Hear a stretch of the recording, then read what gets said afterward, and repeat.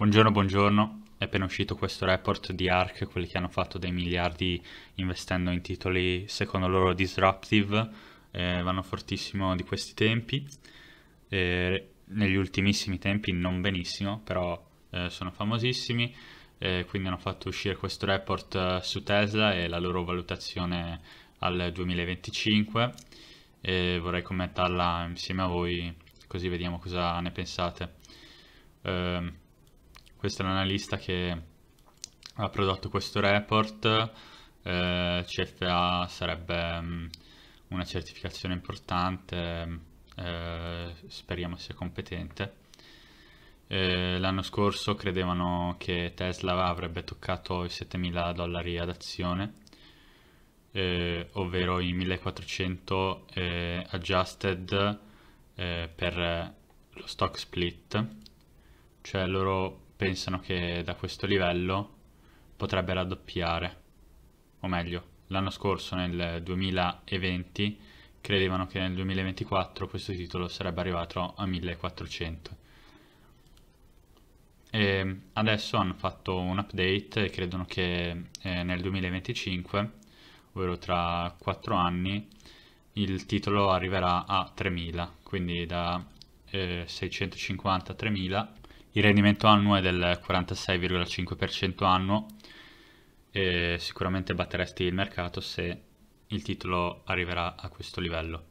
Dicono che hanno fatto un modello Monte Carlo, una simulazione Monte Carlo, hanno, fatto, hanno inserito 34 input nel modello e fatto 40.000 simulazioni possibili um, sostanzialmente non significa nulla, cioè il numero di simulazioni possono mettere 100.000, un milione, e tutto sta in questi 34 input, secondo me utilizzare 34 input è veramente eccessivo e c'è un rischio di overfitting molto importante.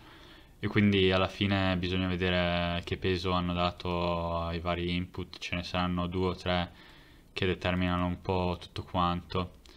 E, ehm, secondo il, le loro proiezioni, expected value è 3000, quindi il valore medio è più probabile, eh, presumendo che questo modello sia distribuito normalmente ma in realtà non è neanche una distribuzione normale o gaussiana perché ci parla di un 25% di probabilità che Tesla valga 1500 o meno e un 25% di probabilità che valga 4000 dollari o di più. Quindi vabbè, sono dei valori campati per aria. E qui nella nota dice che queste previsioni sono limitate, non si possono utilizzare in maniera troppo decisa. Quindi procedono a delineare un esempio del bear case, un esempio del bull case, eh, ad oggi hanno venduto eh, mezzo milione eh, di automobili, eh, nel caso negativo ne venderanno 5 milioni, nel caso positivo ne venderanno 10, nel caso negativo eh, venderanno ad un prezzo maggiore, eh, average selling price, 45.000, mentre nel caso positivo venderanno a 36.000 Secondo me non ha tanto senso questa, questo ragionamento, però vabbè, eh, crediamoci. E quindi hanno fatto 5 milioni per 45 mila, gli dà eh, 234 miliardi. Qui eh, stessa moltiplicazione gli dà 367 miliardi, quindi sarebbe in realtà 36,7 o 10, qualcosa. Eh, insurance revenue eh, faranno 23 miliardi eh, nel bear case faranno più soldi con eh, le assicurazioni nel bear case e meno soldi nel bull case, anche qui non ha senso.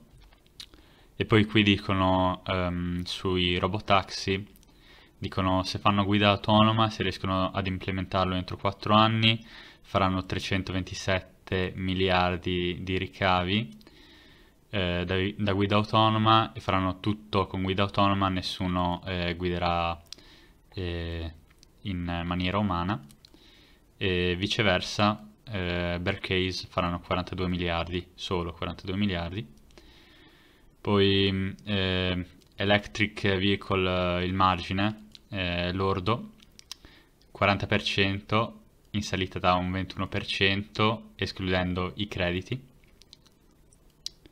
Bear case, mentre il bull case è solo 25%. E total gross margin, qui, qui mi fa troppo ridere, è 25 qui, mentre qui va a 50%.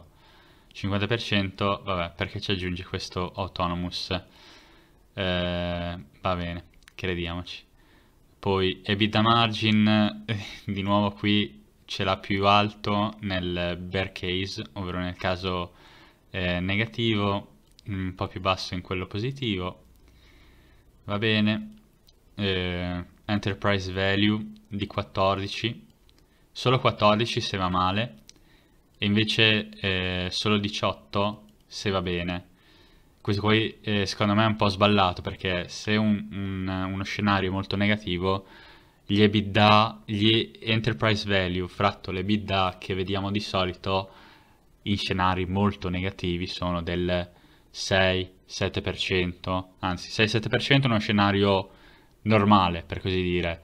Qui addirittura siamo a 14, quindi è straordinario il 18 secondo me potevano spararlo molto più grosso, potevano dire eh, facciamo 20-25. Eh, quindi io non ci credo molto. Comunque. Quindi in sintesi un 6 comporterebbe un prezzo dimezzato, grosso modo, dove, dove si trova in questo momento, e 25 su, bidda invece mh, porterebbe addirittura sopra i 5.000 d'azione. 5.000 d'azione, eh, ci sono circa un milione di azioni, eh, quindi eh, 5 trillions di market cap, 5.000 miliardi di market cap, sempre se ci credete. Eh, free cash flow yield eh, sostanzialmente è più alto quando ne nel bear case scenario è più alto che nel bull case scenario, quindi questo modello non ha senso secondo me non ha alcun senso. E qui nella nota ha detto quello che ho detto io, che non avevo ancora letto, dice che non faranno una crescita molto aggressiva e quindi manterranno i prezzi eh, venduti ad alto livello e questo beneficerà i loro margini, va bene, crediamoci. Poi passa alle key assumption e questo mi sembra interessante da vedere. Eh, usando la legge di Wright che sarebbe questa secondo la quale ehm, il costo di produzione declina eh, come una funzione della produzione accumulata sostanzialmente il prezzo scenderà in maniera costante e qui ci fa vedere un po' il costo delle batterie al litio che è sceso però cioè dal 2005 non è che questa differenza sia così importante Comunque, tornando al modello, dicono che il gross margin non potrà mai eccedere il 40% nel caso peggiore e il 25% nel caso migliore. Eh, ricordiamo il caso migliore è quello dove producono la manetta. Eh, CAPEX efficiency, ovvero quanto devono eh, investire eh, in azienda per produrre un'automobile ehm, nel bear case devono spendere 8.000 dollari, mentre nel bull case devono spendere 6.000 dollari. Maximum eh, annual production increase significa di quanto aumenta la eh, produzione di veicoli, 65%, eh, nel caso peggiore, 90% nel caso migliore. E, mh, questi valori quando io vi dico mh, già mi avete sentito dirlo, delle crescite mostruose del 30, 35, 40% per un software enterprise e qui invece loro pensano che riusciranno a produrre del 65% di crescita ogni anno per fare una cosa di manifattura. Eh, qui dice che sono eh, la, la simulazione della produzione è una funzione dei cash flow disponibili per essere investiti nella manifattura eh, di ehm, impianti per veicoli elettrici. e poi c'è un uh, limite, un constraint eh, alla, allo scalare e questo limite dipende da disponibilità dei materiali grezzi e dalla, dai bottlenecks, ovvero dai limiti eh, causati dalla produzione di batterie eh, che la compagnia potrebbe incontrare. E, ehm, quindi sì, vuol dire tutto e vuol dire niente questo numero qui, io non credo sia raggiungibile. Adesso qui in media eh, Tesla negli ultimi 10 anni ha fatto una crescita del 60% circa, negli ultimi 5 anni ha fatto una crescita del 38%, ok, adesso stanno costruendo eh, i vari impianti sparsi per il mondo, ne hanno due in costruzione, ehm, una in Germania, se mi seguite su Twitter avevo postato un articolo secondo il quale i lavoratori Volkswagen tedeschi eh, non potevano andare a lavorare per Tesla o quantomeno non potevano licenziarsi e pensare di poi poter ritornare a lavorare per l'azienda in cui stavano precedentemente.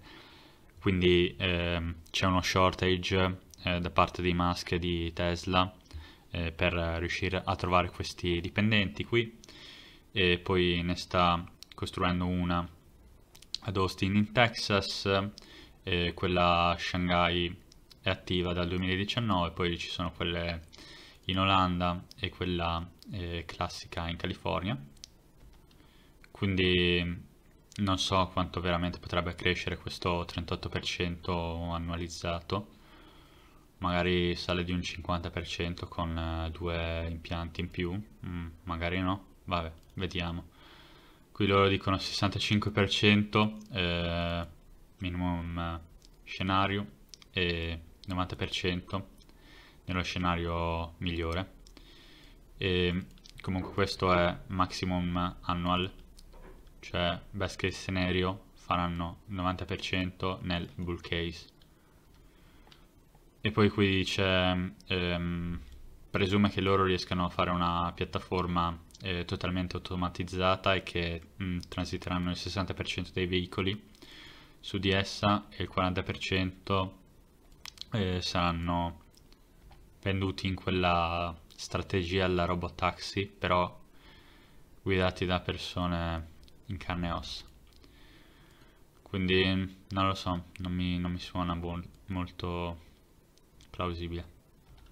Poi qui parla delle evoluzioni al modello che avevano fatto riguardo all'anno 2024. Hanno detto che spendono 11.000-16.000 dollari eh, a veicolo per incrementare la capacity di produzione. Eh, cosa significa? Che per produrre un veicolo in più loro devono spendere eh, dagli 11.000 ai 16.000 in più di investimenti sulla sugli impianti sostanzialmente. Hanno speso 1 miliardo e 3 eh, di capital expenditures, ovvero questi investimenti eh, per produrre, per far funzionare l'azienda e hanno prodotto 500.000 veicoli e un incremento di 144.000 veicoli. Quindi il capex è stato di 9.200 anziché questi 11.000 poi eh, questo per quanto riguarda il 2019, per quanto riguarda il 2020 hanno speso 3,16 miliardi di capex e quindi sono arrivati a un eh, 10.003 di capital efficiency. E poi ci dice che comunque questo capex di 10.003 può essere overstated in quanto comunque eh, una porzione del capex viene utilizzata per finanziare dei progetti a lunga scadenza che però riguardano altre cose come ad esempio i data centers per i veicoli a guida autonoma e poi ehm, l'impianto per produzione di batterie eh, verticalmente integrate. Poi al Battery Day hanno detto che eh, con una nuova formula chimica e un nuovo processo manifatturiero eh, ridurranno eh, i costi di investimento del, del 75%, questo è un, è un, ottimo risultato, se è vero quanto dicono. E dunque nel loro modello abbassano il capex per auto. E quindi ritornando al modello loro dicevano che spenderanno 8.000 o 6.000 per auto da uno scenario in cui partivano con 11.000-16.000. È, è, possibile, è possibile che sicuramente calino a 10.000 o a 9.000 e a 8.000 o a 6.000 non lo so se crederci molto. Poi qui parla mm, del business insurance, per ora ce l'hanno solo in California. E, mm, comunque non so come funzioni in America, e probabilmente ci sono delle, delle regolamentazioni di capitali, come avviene per le banche, come avviene in Italia con eh, l'IVAS. E sostanzialmente dicono che eh, potrebbero raccogliere 23 miliardi in eh, revenue, e presumo intendono premi. E ehm, loro dicono che venderanno il 40% eh, con la loro insurance e che potrebbero avere il 40% di margini su questa, eh, questi premi. Qui comunque vedete Berkshire, gross margin 21%, profit margin 17%, eh, quest'altra 44%, comunque i margini sono molto bassi per, per il settore e non so come riescano a derivare questo 40% di margine lordo, eh, 13% di EBIT, mm, vabbè. Non penso che il fatto che abbiano delle informazioni o dei dati in più riesca a migliorare insomma il pricing power eh, su di questo e poi sicuramente il fatto che eh, guidi una Tesla e che guidi a, a guida autonoma e quindi fai meno incidenti quindi sei più sicuro eh, presuppone che anche poi tutta la competizione tra i vari assicuratori eh, faccia sì che i premi pagati siano più bassi. Quindi non è solo Tesla che potrebbe guadagnare da questo scenario qui ma sono poi tutto il settore di quelli che assicurano le Tesla che abbassano i premi per tutti quanti, quindi non è neanche detto che Tesla sia in grado di catturare questi, questi premi qua. Senza contare che eh, adesso facciamo uno scenario apocalittico, ma eh, dovesse succedere che eh, uno, un hacker eh, si mette a fare ehm, a mandare in tilt tutti i, sistema, i, i sistemi Tesla e tutte le Tesla e vanno in crash e vanno contro un muro nello stesso preciso giorno, stesso preciso istante, tutta la flotta di Tesla sarebbe distrutta. E adesso eh, immaginate quanti miliardi dovrebbe sborsare Tesla con i veicoli assicurati per ripagare i clienti che si sono assicurati con Tesla tralasciando il fatto che comunque se dovesse succedere un, un hackeraggio di questo tipo l'azienda sarebbe fallita anche senza il business insurance. Comunque qui parlano di 20 miliardi di operating profit nel 2025 con uh, il ride hail eh, ovvero l'Uber.